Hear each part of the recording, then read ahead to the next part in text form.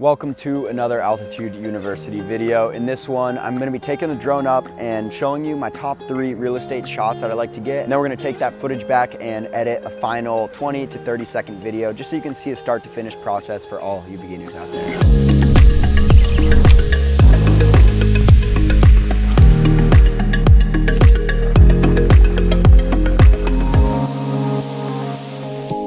Gonna push back here so we're at a good distance. Make sure everything around you, you're above everything. We're gonna get a nice push in and reveal shot. So I'm gonna start with the camera down like this and we're focusing on that building straight ahead. And I'm gonna record. And all I'm doing is pushing forward and panning up at the same time. Nice revealing shot, perfect. Do the same thing here, right at this angle, you see the palm trees. Make sure you're above everything in your area. Let's do the same exact shot here. Pushing forward, panning up, easy peasy. Aligned right at that 45 angle, awesome. And I'm gonna get one more here, maybe even further, really pushing out. Check your height, make sure you're never above 400 feet. And right here, f-stops at five, just like that, our EV is perfect. I'm actually gonna put that at five, six and get one more here showing the whole scene of where we are. Pushing in and panning up nice and slow. No need to go fast with these movements since the building is static. You're in no rush, take your time and make sure you get the perfect shot. Perfect, so that's the push in, that's our first shot. And the second shot we're gonna do is the circle. So with this, you're basically gonna be pushing the throttle one way and rotating the opposite. So I'm gonna be right here and I'm gonna press record. So I'm pushing to the right, and I'm actually panning to the left. So that gives you this nice circle motion and the circle shot is definitely a necessity when you're shooting real estate because it's gonna show the entirety of the property just like so. So this first one, I'm not even messing with the camera gimbal since it is a tougher movement to get used to. So you'll see we're kind of missing the bottom of the building there, which is totally fine because when we do this a second time, we're gonna go through and actually pan the camera. So I'm gonna stop right here. And this time I'm gonna push out a bit and I'm gonna bring my f-stop up, get that light, and I'm gonna start with the camera down and I'm gonna push left this time and rotate to the right and pan the camera up, giving that nice circular motion and moving the camera at the same time. So we're getting three movements at once. I'm gonna pop out and do the same thing again on this side over here. Make sure we get a nice one right here. There we go. And same thing. Pushing to the left and rotating to the right. And panning up. Great. Just like so. That looks great. You hear the drone above me there. We're at 160 feet. Keep panning, keep panning. And the key with these movements is keep everything steady. So once you start the movement, just lock your fingers in place and keep them perfectly steady so there's no jittery movements because that is the last thing you want. So I'm gonna start right here and do the same thing, except this time I'm actually gonna start up and pan down. So we'll get a different motion. So same thing here, same movement, we're just moving the camera down instead of up this time. So you can see the top of the building here, real estate agents love to see you know, the top of buildings so you can see, you know, AC units, vents, and things of that nature. It's a great shot. We get a little faster there, gives some really cool dynamic. Perfect, and that brings us right here, perfect spot for our third shot, which is the sink or rise and the pan up or down. So let me show you what that is. So this one, we're gonna start a bit higher, say 200 feet, right around here, and press record, start with the camera facing straight down, and what you're gonna do is pan up while you're pushing down. Just like so. So I'm panning the camera up and I am sinking my height down. Just like so, it looks awesome. Perfect, and then we can do vice versa too. So we can start lower here to get a different angle. So we can start lower, start with the camera up. We're doing the opposite shot here. And pushing up and panning down, just like this. So this will show a little more of the scale of the building. So instead of coming up on it with the sink and pan up, we're doing the opposite. So you kind of see that top down view. Keep that movement nice and steady. Right here, we'll do that same. One is the first one. We're gonna do that sink and pan up. Maybe get some of the palm trees in here. Will be awesome. We can see a little bit more of the surroundings. There we go. I'll bring that aperture up. Right there. Sinking and panning up. Just like that. Nice and smooth. Just lock the motion in once you start it. Very simple. Awesome. Let's get the drone back. So that only took about 10 minutes. Uh, we got more than enough footage than we need for this example. So we did the three shots. We did the push in, we did the circle, and we did the sink and rise. So these are the top three movements I recommend you to get in practice with real estate videos. Let's bring the drone back and hop into the editing bay and create this video.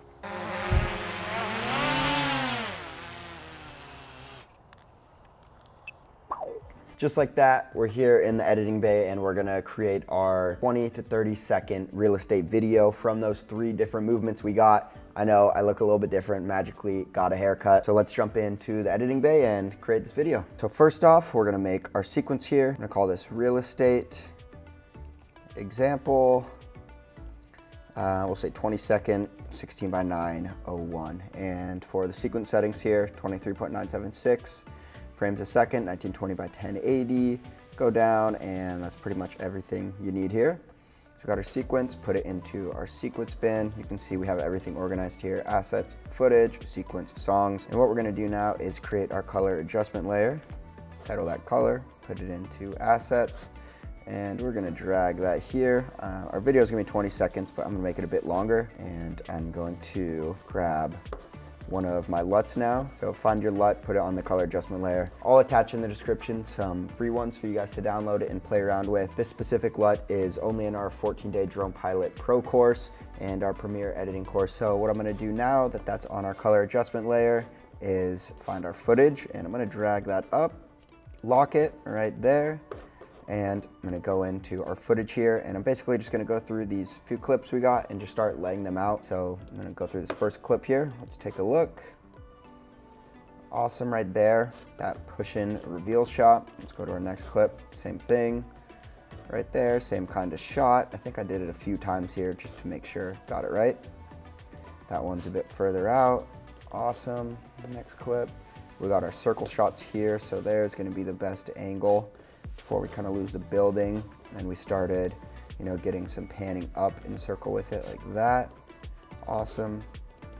Let's see what else we're working with. That's a great one too. Might be another section there. You can see a little bit of the entire lot. Let's see here. Panning down on the building right there. That's awesome. You can see the top of it. It'd be great for real estate agents to use. And then we have our sinking shots here. And so the sink and then the rise too. So there's our rise with us panning down.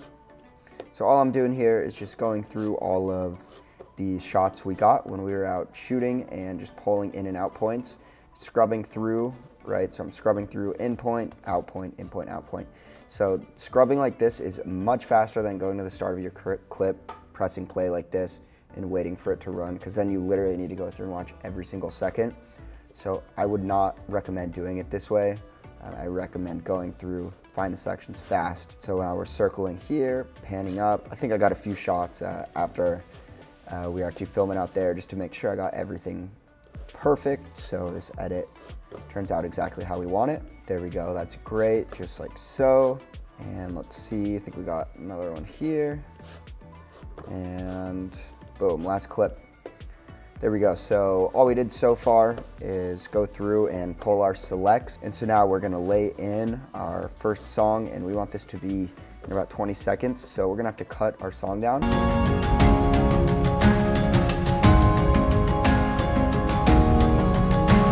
There we go. we go right there towards the end. So that's 11 seconds. You probably drag this part out a bit longer and just see how this sounds. Make the track height bigger there. Let's see how loud this is.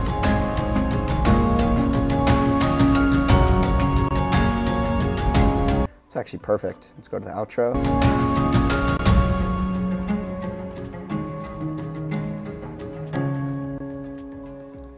Awesome, so that's about 25 seconds. Let's see if we can cut off a bit here. Right there on that next drop. Perfect, delete that, bring that in. We got the outro. We'll fade that out right there. Command Shift D to create that constant power fade at the end. And then I'm gonna click on these right here. Command click and command click on that and get that nice fade out. And then cut right here. Command D for that constant power fade. Right here, go to effects, low pass filter right there. Drag that onto that ending section and we'll keep the cutoff at that and let's listen to here. Give that another listen, make sure this is perfect.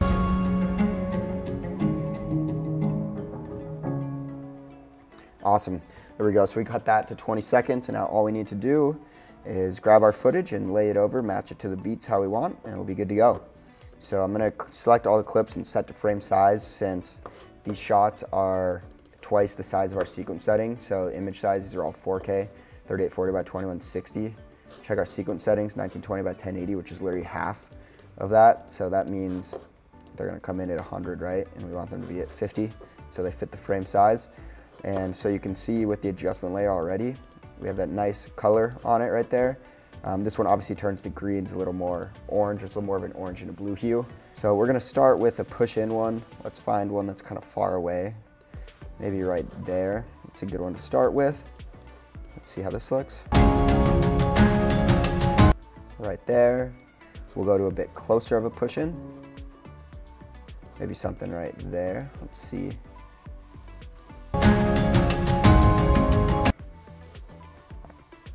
Maybe right about here is where we want it. Boom. Right there. So we probably don't need this one since that'd be a third push in. Let's see if we get a good circle one here next. Uh, we might skip over that one and use one of these like that one, that one, probably one of these. So I might use these two. Let's see. Make sure we hit right on that beat. Drag that over. And I'm actually gonna lock the audio layer so I don't accidentally, you know, move it around. Use a later section of this here, this clip. Right there. So all I'm doing is just finding the best sections. I'm just cutting, right? So you can go in, cut the footage like this, cut the sections you want, right? And then press V. So it's all about shortcuts. In 14 Day Drone Pilot Pro and our Premiere editing course, I have every single shortcut and I go through everything I'm doing. I'm moving kind of fast just because I want to show you the entire start to finish editing workflow in a pretty timely manner. But if you want to see that in a lot slower of a pace where you can actually get a full walkthrough, check out 14 Drone Pilot Pro or our Premiere editing course as well. This is another shot right here. So another circle right there, right there, let's see. That's perfect. Here we go, and then we got a few more shots here. So we don't need those ones anymore. Let's see what we're working with here. That's a good one right there. Probably not any of those. Um, boom, maybe not that. Definitely these ones I got at the end here, and that should do it. Let's see. We don't need that one. That's a pretty good one actually too. Let's see, let's see what these two. All about trial and error, just popping in clips, see how they flow together. So let's see this part. Get there.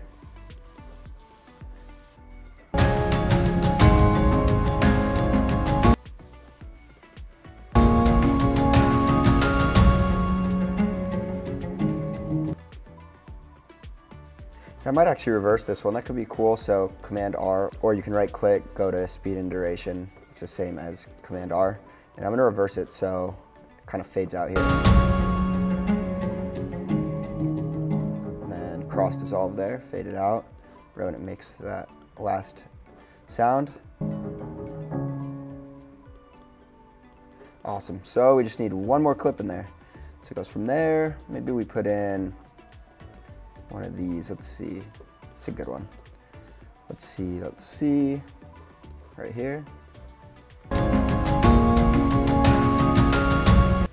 We just kind of need more of it showing there. Something about right there. Let's see how that is.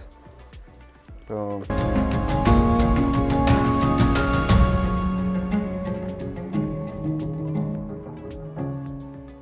Perfect.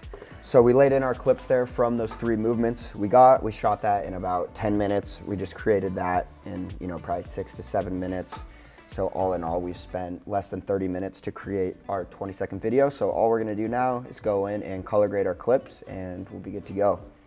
So we're gonna go right here on our first clip and just make sure it's selected. The shadows and highlights, adjust this however you want. So I'm gonna bring the shadows down, highlights up a bit, and might bring the tint down right there just to bring back a little bit of the greens and even make it a bit colder towards the blues there. And so you can see with and without here. Let's check that out. So it brings back a little of the greens and gives a little more contrast with the shadows and highlights there. And then watch this, all you need to do, Command C, go on to the next clip, Command V. Pretty crazy, right? And you didn't need to do anything except copy and paste it. So editing's all about workflows. So once you do it once, try and figure out how you can skip it a second time to save you time and energy so you can just focus on, you know, things that matter with the actual creativity of how you're piecing together your video. So highlights are a little blown out there. So pop that down, that down, and then that shot looks awesome. Great framing here with the palm trees and we just reversed it out. So let's take a look at this, uh, this video we made pretty quickly. Um, there's other things we could do, obviously, you know, with keyframing, scale and position, where you can scale your shots in like so, um, like this. To add, you know, a little, a little more effects, but I don't want to go too into depth with, you know, the speed ramping and adjusting keyframes for scale and position and adding blurs and things like that. I just want to show you the start to finish product that we made. So let's take a look what we just made together.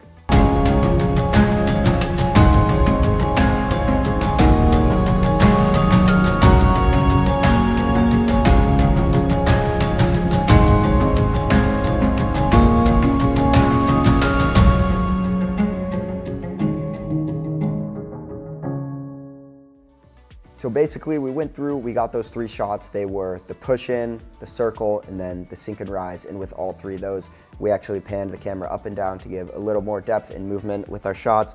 We brought that footage back here and we edited this video in about 10 minutes together by pulling selects, going through piecing the clips together just like a puzzle by matching the beats of the song. And that's pretty much all we needed to do. So can't wait for you guys to take these tips and tricks out in the field with you when you're out shooting and editing as well. And can't wait to see what videos you come up with. We'll see you in the next video.